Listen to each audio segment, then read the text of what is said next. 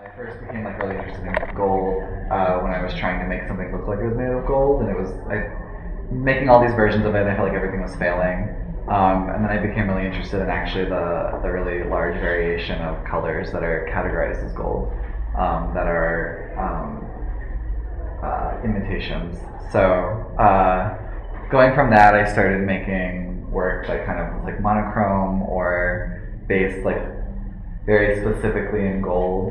Um, so I have like this is sort of like the first time I've had a, an entire show where everything has been gold. It's always been like a couple pieces or um, a standalone work that was gold. So it's kind of yeah. Um, I guess this one here. Um, I was really interested in. Um, I started. lam- I bought a laminator and I was like laminating things, and I started. Oh my god, you laminated each of those? Yeah, so they're all individually laminated, and then I cut, um, cut them out into whatever shape they sort of became, and uh, it was made, you know, hole punch them and put them all together with these little rings. Um, and I, I really liked the kind of like uh, curtain quality that they were starting to create. Um, I liked it became kind of dimensional. My goal was sort of for it to be a backdrop, um, and I was looking a lot at um, like early Renaissance paintings where um, the figure is in color and the, the background is gold, and, and so that's why the, the work is titled Everything because it's supposed to be sort of like the whole world. Um, and my goal was that like people would take photographs in front of it, which has already happened tonight, so it worked out great. Um, and that it would be then then like that person would become one of those paintings, right? So they become like the important subject matter with this like brilliant gold background behind them. Um, but I also, I mean, there's also like I think like a theater quality to it, and you know, like having a curtain or a backdrop that's sort of like meant to emphasize the figure um, that's in front of it. So, so that's that one. This, um, and like this one and the piece across from it, which is also using uh, imitation gold leaf as well, were sort of scaled. I I made them before I came here, but they were scaled for the space. Um, so they're they're new works that um, haven't been shown before.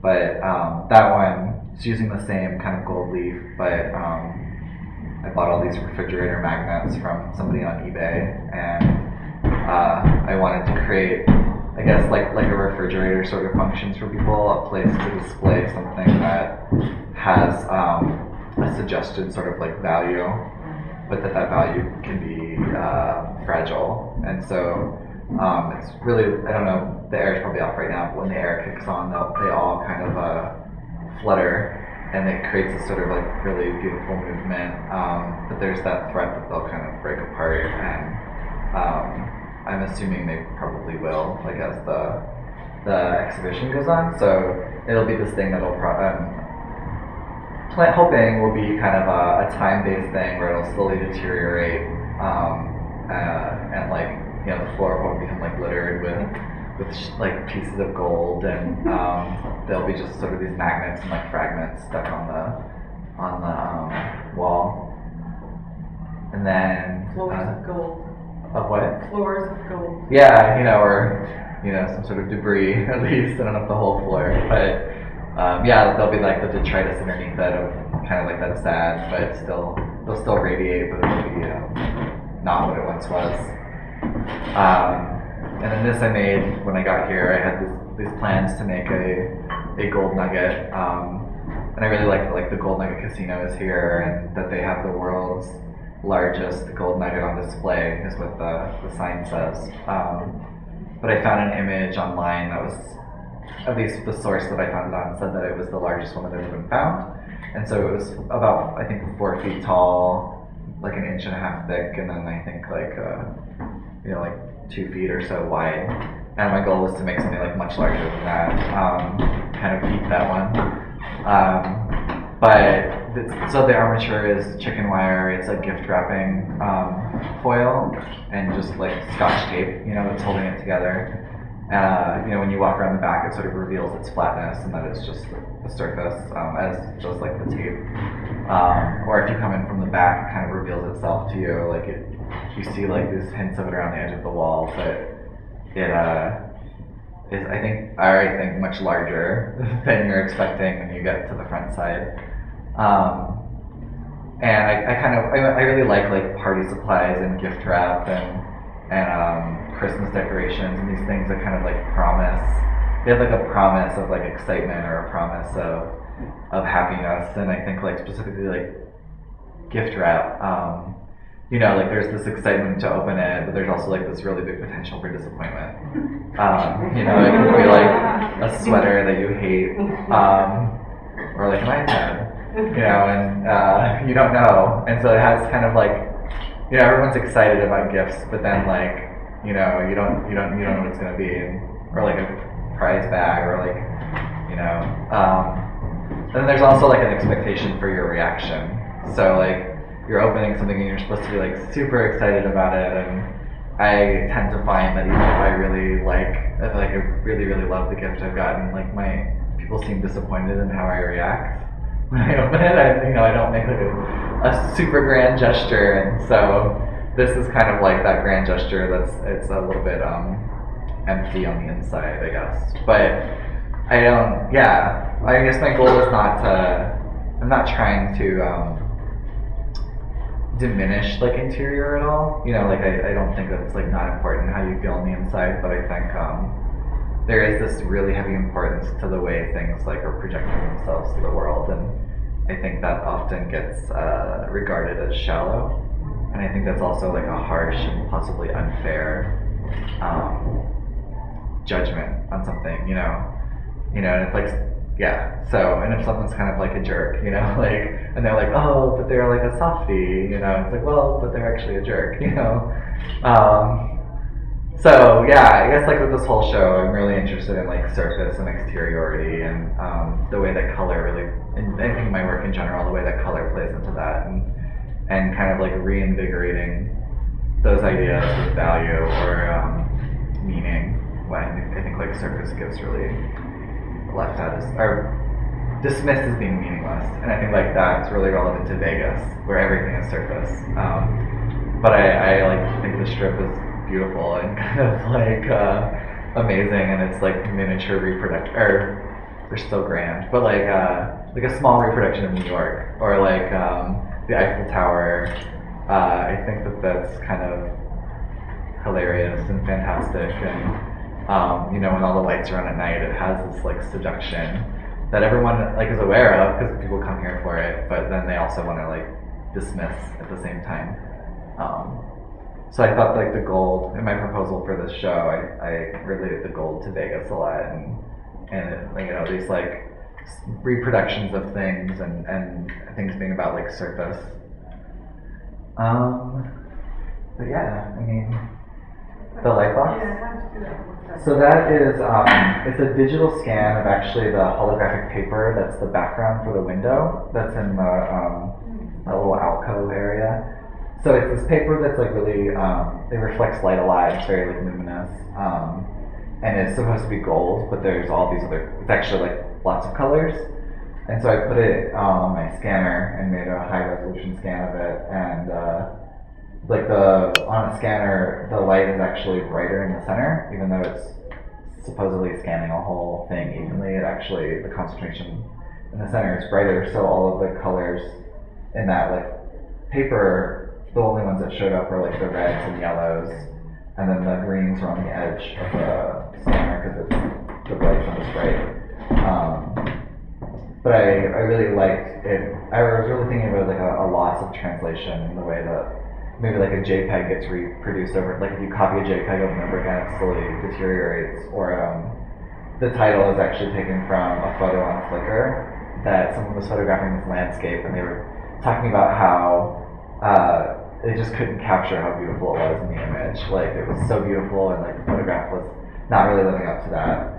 And so I kind of like rephrased what they wrote, and that was sort of like the inspiration for the the title. Um, but yeah, and then I like put it in a light box to try to like re-give it. So I'm trying to like translate it and like re-breathe as much life into it as it originally had, but it's like always sort of failing. So it's still like know, light is coming at you from the image, but it's never quite the way it really looks. Um, and it uh, reveals sort of all the colors that kind of go into making something appear like it's gold. So, uh, especially with like the monochromes, and I've done some other works with like that show the and like the, the I think the, the display in the window outside um, are supposed to like kind of directly contrast all of these things that are like classified as gold, and how like some will have to them, and and they have to have that to sort of like be convincing as being gold, even though gold is really just like a, a, a shiny yellow.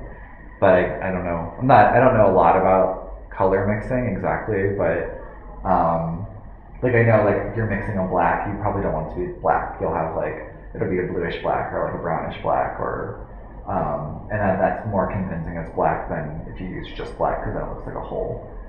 So uh, I think like that. I was like kind of relating that to the way like gold pigments are made too, and you need them to have these other tones, or it, it looks too fake maybe, or it doesn't look um, like gold. But then when you compare them together, like especially the one of those monochromes, the the frame looks really green, but it's a gold oil pastel.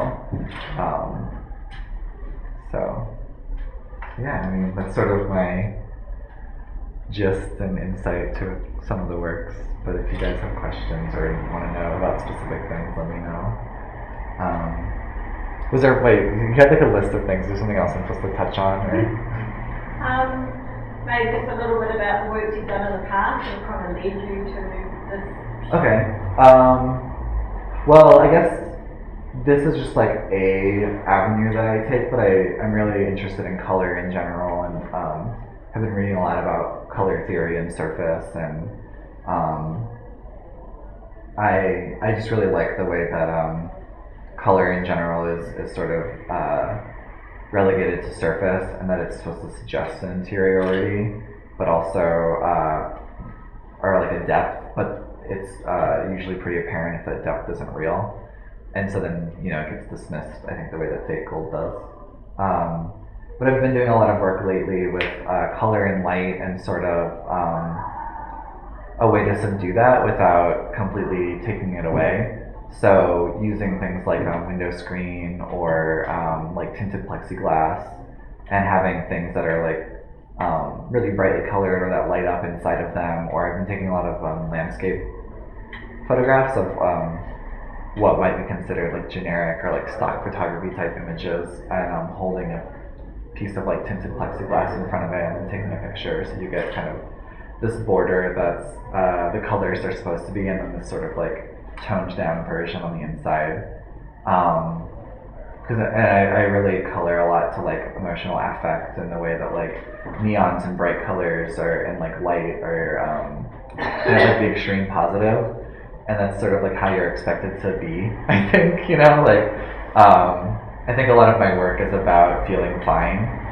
So uh, you know if someone asks you how you're doing and you say you're fine, that's kind of like not an adequate answer, and they assume something's wrong, and it's really like no, I'm fine. Like nothing's fantastic perhaps at the moment, but nothing's like terrible either, you know, and that's like alright, you know, a lot better than, you know, what it could be. So, uh, I guess I'm trying to kind of like a lot, uh, depict that visually. Um, and so this, I feel like this work actually kind of led to that, where I was working with things that were like a really extreme positive, but kind of, um, revealed that that was maybe not you know the case as it being categorized as fake, and then it's led more into how can I like subvert that even more and not just have it be a surface, but be a surface that's um, uh, I'm altering your like live view of that. So the kind of like color mixing or the the changing of it is being done like in your eyes and not um, through like a selection of color. Like it could make everything sort of like dusty colors but instead they um, that's like happening in real time so you're like experiencing that happening at the moment um, yeah i mean i think yeah as far as like work in the past like a lot of my work used to be really um, like personally narrative and um, the gold work is really what led me away from that and doing things that i thought more functioned as like symbols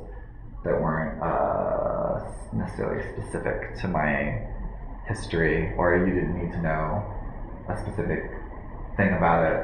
Um, and I really started moving towards images that are considered like generic or inauthentic, um, like stock photography and like landscape images and like smiley faces and hearts and things like that that um, people assume are contentless because of their uh, the amount of like their uh, what's the word I'm thinking of? The way they're like reproduced so much the um, that they kind of like lose their meaning but then still some people like think you know like a greeting card has like a ton of meaning in it you know and it's like really personal to them but there's like a million of them um, and I think that's really amazing that uh, something can be so uh, prolific I guess and also like still retain a meaning to somebody and I'm uh, interested in the way that it can be simultaneously dismissed too. So, yes, that's how things came to Have you this. been with other colors or has it always been gold? or- Um, I mean, gold is definitely the like only thing I've really done that's like super monochrome or like been like this color is all that I'm going to use for this work or something. But um, I've been looking a lot more into like fluorescence um, and like uh, you know, like I did a piece recently that was a big plexi vitrine that had like a gold like column, like you know, like a Corinthian column in it that you use for like your yard or to put like a vase on in your house. Um, and then I had like one of those spinning disco ball light things inside of it, and like this multicolored um, like Christmas garland in it. And uh, I, I guess I'm looking more towards like mixtures of like uh, multiple colors and uh, specifically ones that are all really bright or that like um, actually like illuminate and how I can kind of work with those. Um, I also had like a, a black and white photo of a silk rose that I took, and then I had these clamp lights on the frame that had a pink and green light bulb in them. So the color like is being added back to this photo that's black and white, but in through like light that's shining on it. Um, so yeah, I'm looking more into like pinks and like bright colors and, and things that are not necessarily metallics, but that are um, sort of aligned with I think the ways that similar that like gold gets aligned. Um, Do you um, subscribe to any notions of kitsch? oh, I love kitsch.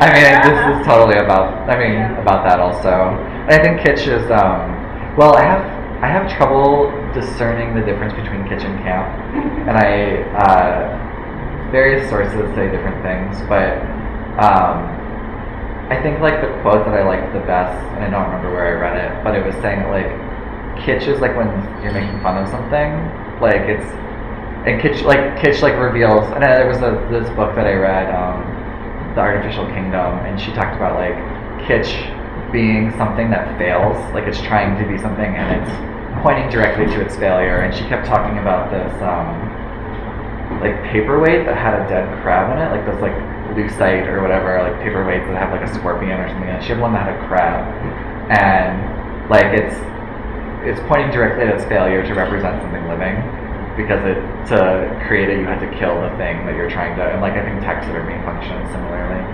Um, but like that was her definition of like kitsch was like something that's like revealing its own failure. Um, and then I read this thing about camp that was like camp isn't making fun of it, it's making fun out of it.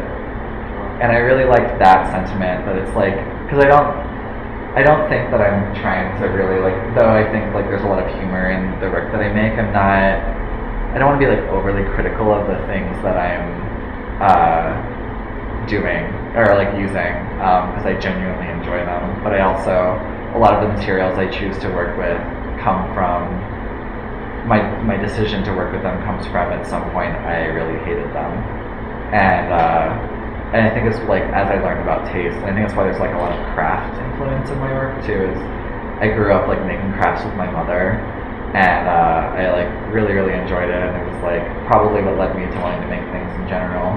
Um, but then there was a point like in art school, I was like, oh, but that's craft you know, like that's not art. And like there was this sort of like value judgment I was placing on what she was making.